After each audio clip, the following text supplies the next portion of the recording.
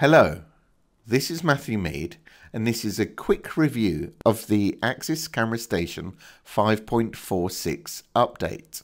As always, take a look at the release notes to get a full view of what is contained within this release. In this release, we now support the integration of the Axis S3008 recorder. Note, the recorder can't be used as a standalone recorder and has to be used in conjunction with an Axis Camera Station server instance.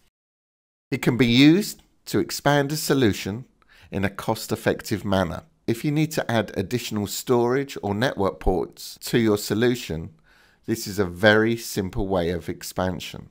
It can also be used in flexible solution designs, and it can also be used to connect remote sites over a VPN connection.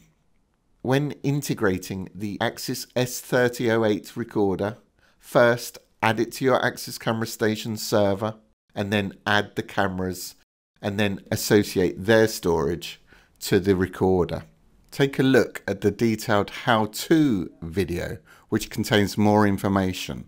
The link is provided in the description of this video. I hope this video has been of interest. Thank you for watching.